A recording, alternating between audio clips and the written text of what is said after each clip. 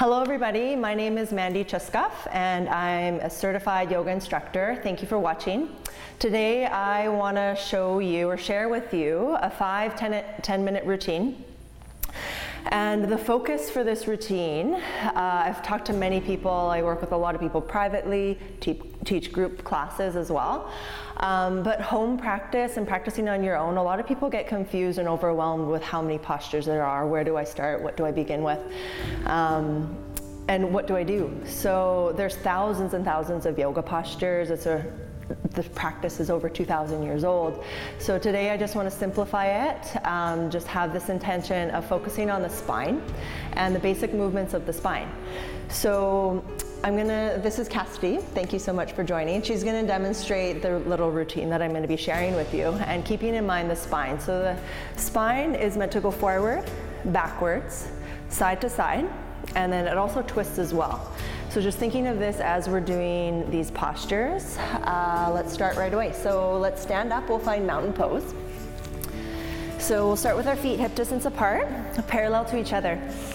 And Cassie's gonna stand nice and tall, grounded throughout her feet, reaching right up through to the crown of her head. And feel free just to close your eyes. Let's just come back to our center here. Smooth breaths in through your nose and out through your nose.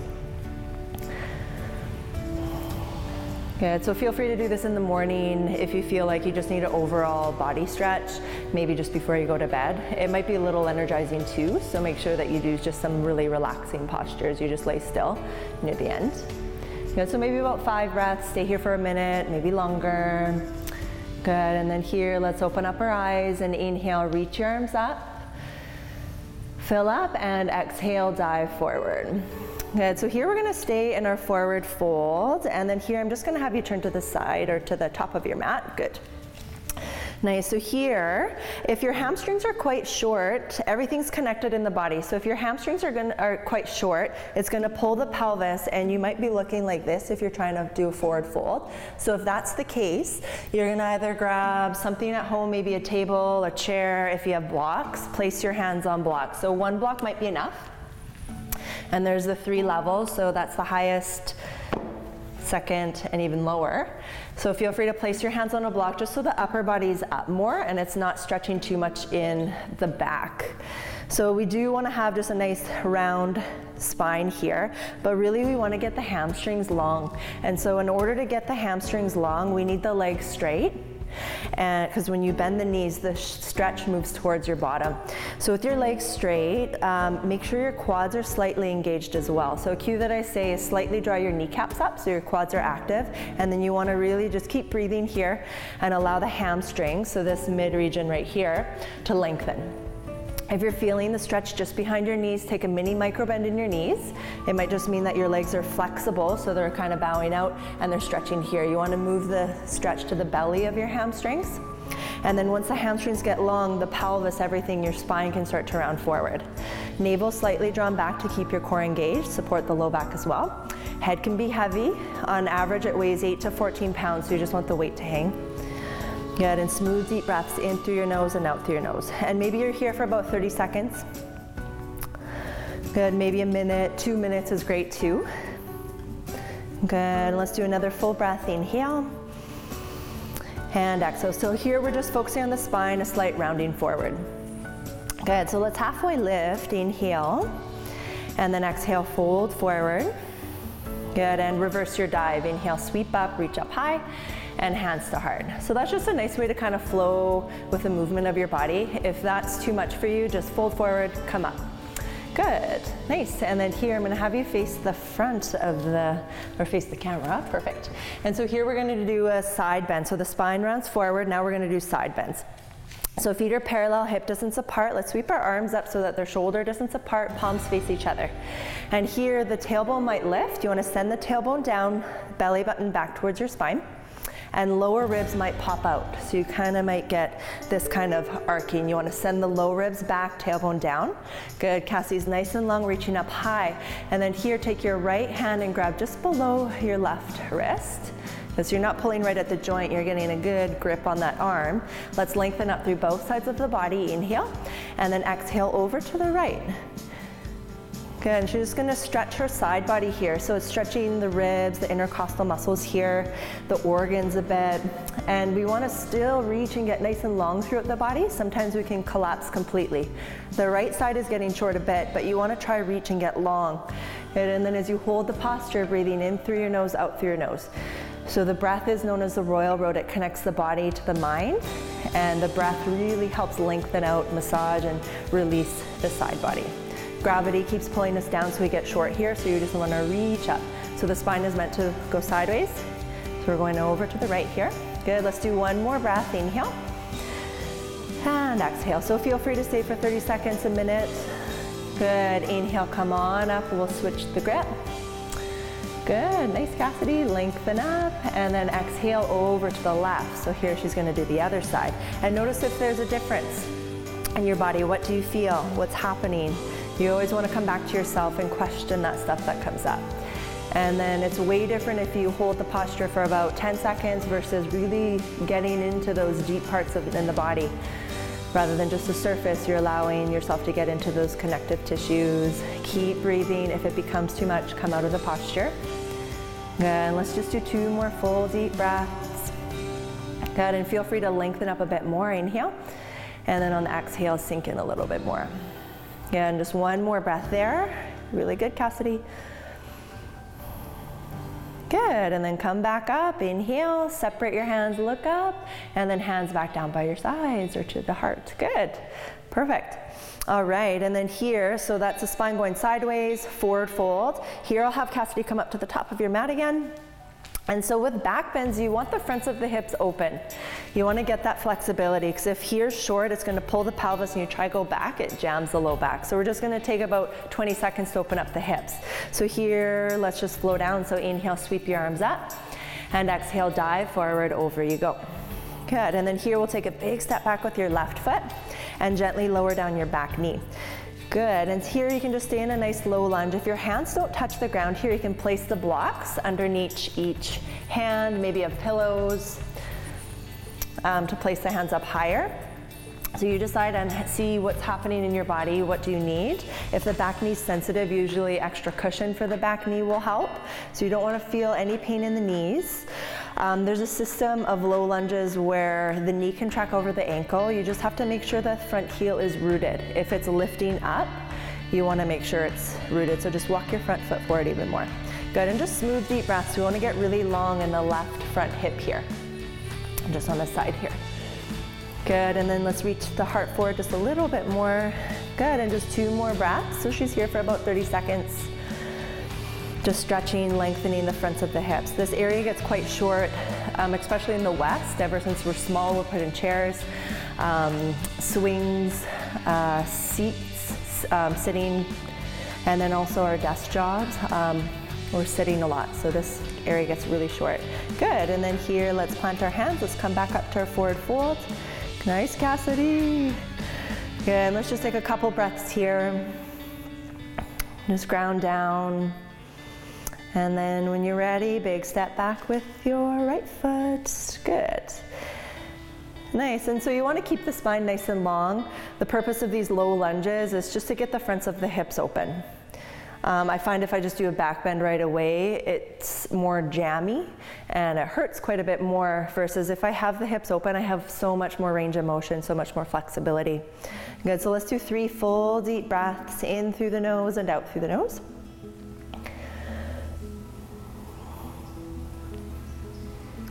Good. Take your time, relax your eyebrows, your jaw. Nice. Good, Cassidy. One more breath.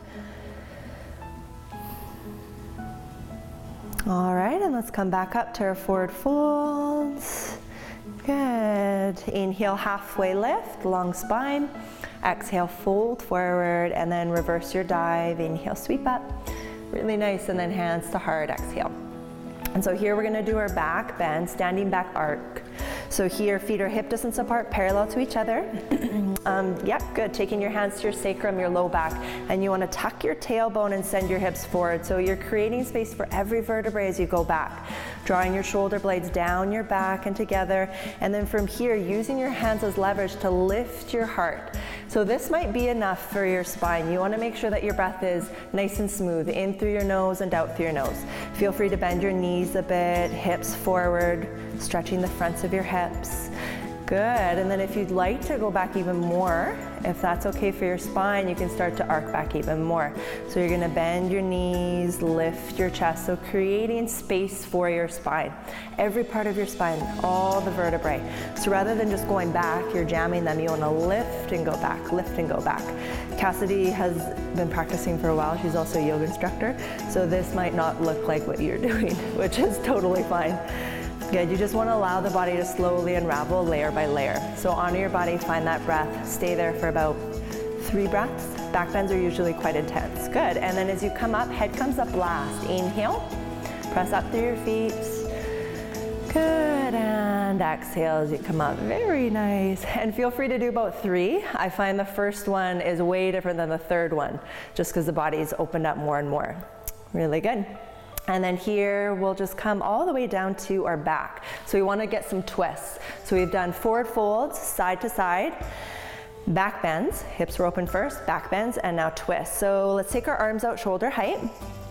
Good, palms are facing up and then stretch your arms to either sides of the rooms. Let's take our knees towards our chest. Good, and then we're gonna lower our knees over to the right, please. And then feet are lifted about a foot and gaze can go over to the left. Good, so here we're toning the abdomen. It's a little bit more engaged. Good, it's nice and deep and then stretch your arms to either sides of the room, so good.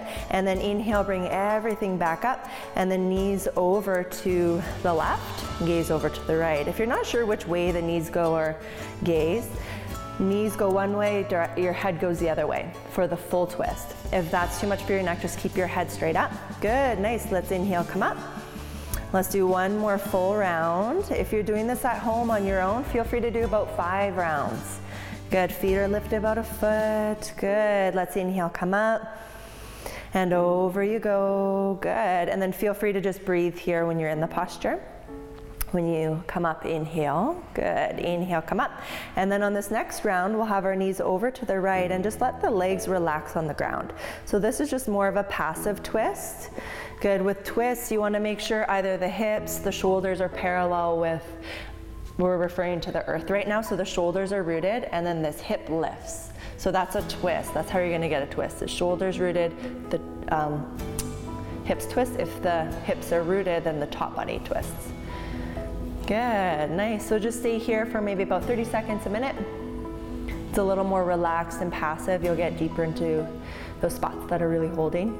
Good, and then let's come back up, inhale, and then legs over to the left. Nice, Cassidy. Good, so from the tailbone, up the spine, all the way towards the neck, everything's getting a nice twist. And the reason why I'm focusing on the spine, um, the spinal column, so many different structures, things holding it together, but the nervous system, that's the central piece where everything stems from there. So if the spine is stuck in any way, it's going to reflect the limbs, so many different parts in your body. You can really go in depth about talking about it. So here, just really getting some basic movement for the spine. Forward, back, side to side twist. Good, and then let's come back up. And then just take your knees towards your chest. Just kind of rock side to side, maybe rolling on your low back. Just kind of straighten up the spine again. Circling one way and then the other. And then just finish in Shavasana here, so also known as corpse pose, where you just lay flat on your back. Good, if at all this hurts your low back, have the knees lifted, maybe a bolster, that's a big long pillow um, underneath them, a blanket, so they're lifted a bit, or you can just walk your feet up, have them bent. And then you just wanna close your eyes, let your body relax, and staying here for about a minute, to 10 minutes is so great if you have that. So I hope you learned more about yourself, about your spine, your body, yoga postures. Thank you so much for watching. Happy New Year, everyone. My name is Dr. Diana Draper. I am a naturopathic physician in Castlegar, British Columbia. For this New Year edition of Healthy Human, I want to talk about goal setting. So if you are like me, you have procrastinated until January 1st to get out a piece of paper and write down what your goals are for this year. If you are not like me and you've done this in December, congratulations. I hope you are putting all of these pieces in place. However, if you're still trying to figure out what you want to do this year, I'm going to give you my recipe for success moving forward. So, number one, grab a pen and paper. First things first, when you're setting goals, be realistic and be practical. I like to limit my goal setting to three a year. So I get to choose three major goals that I set up every year for myself. And I really organize the rest of my life around these goals. I like to check back on my goals once a month to see are there things in my life that are obstacles for me reaching these goals and what can I do to change that? It's a great check in once a month for yourself to stay on your goals. So, first things first, choose three goals and put them in place.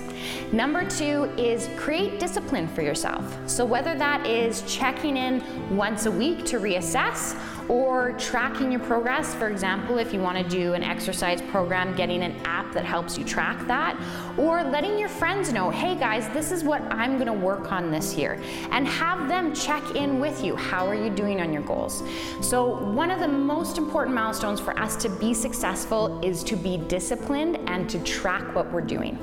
Number three is keep it realistic. Life is complicated sometimes, and we have curveballs thrown at us all the time. So, you really want to create goals that are realistic for you in your life where you're at right now, and know that you can change those as you go along. So, realistic goals are ones that allow you to keep taking one step forward at a time, not making a big extreme leap forward that usually results in us having a big extreme leap back, if not to where we started, further back. So, those are my three recipes for success for setting goals in the new year. So, to recap what we just talked about, three key things to do for successful goal setting in 2019. Number one, Choose three goals or less. Keep it simple. Number two, make yourself accountable either by checking in with yourself or having somebody else check in with you. And number three, keep it simple and make it realistic so it's achievable. If you have any questions about what we talked about or you need a little bit more help, please feel free to reach out to me. I am here to help. Make sure, most important of everything, enjoy the journey. This is what real life is all about. Good luck. Hi, I'm Kristy Shields and I'm a group fitness instructor. As we all know, sometimes getting a workout in isn't just a matter of motivation, but it's also a matter of time and convenience. Here's an easy at-home workout you can do with or without weights and a mat. And our friend Cassidy is going to demonstrate for us. Our first exercise is the squat press. Take your weights or just with your hands at your shoulders, we're gonna drop down into the squat, keeping the hips back, pressing out of the heels and pressing overhead. Keep the core tight as you press the weights overhead. The next exercise is jumping jacks. Classic jumping jacks, open and close. An easy modification for this would be to step out with one hand, one arm, and switch sides. The third exercise is the reverse lunge with the fly. This incorporates some shoulders as well as the legs. And you can switch sides each time.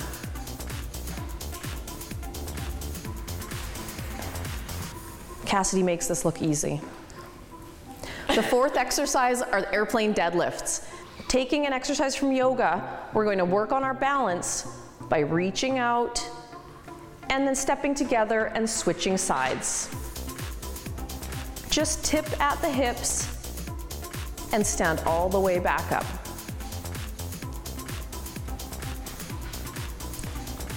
The fifth exercise are split squat jumps. This is a nice cardiovascular exercise to get your heart rate back up, but if you need to modify it, we do have an option.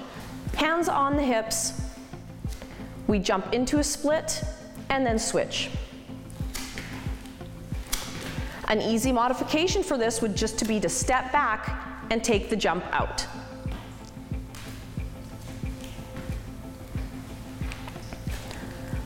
Our sixth exercise is also taken from yoga, and we use the down dog to work our core.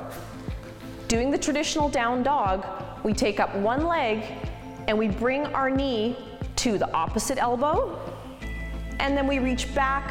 Now we bring it to the same side elbow, push it all the way back, then to the nose, and then we're gonna switch legs. Opposite, same side, and center. From here, we're gonna move right into crunches, laying on our backs, knees bent, feet on the ground.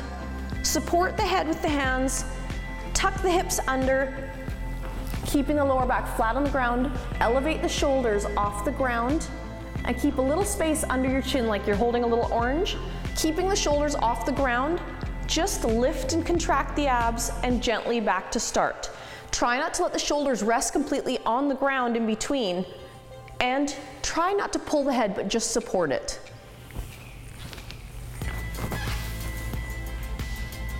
And for our final exercise, we're also gonna work the core, but this time we're gonna roll onto our stomachs. Arms extended overhead, legs extended behind, long neck, shoulders out the ears. We're gonna lift our arms and legs at the same time into a Superman and lower. Make sure you keep breathing through all the exercises.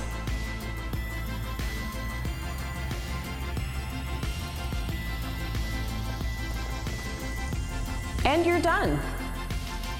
Great job, Cassidy. Try to do these exercises for 20 repetitions each. Go through it twice, but if you're feeling really motivated, try three sets. Hello, my name is Marita Harinen and I'm a certified holistic nutritionist. Today I want to talk about the importance of reading ingredient lists instead of just the protein, fat, carbohydrate, and calorie content of a food product. So many people will look at calories, carbs, protein, and fat to compare with another product, and that um, definitely is useful. Generally, we want to decrease our sugar, increase our protein, and watch that the calorie content is not super high. Um, but when you get into looking at the ingredient list, it's really important because a lot of times food pr uh, producers will add additives, flavors, dyes, and other preservatives that really have no nutritional content.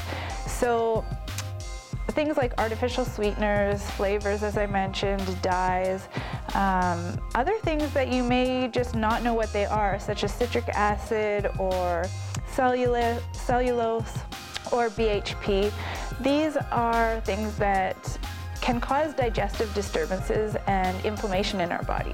So I'd really encourage you to pay attention to the ingredient list in addition to the protein content, carb content, and fat content.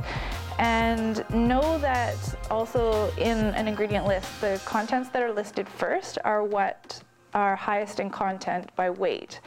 Um, so if you see it at the beginning of the list, that food is mostly consisting of that ingredient.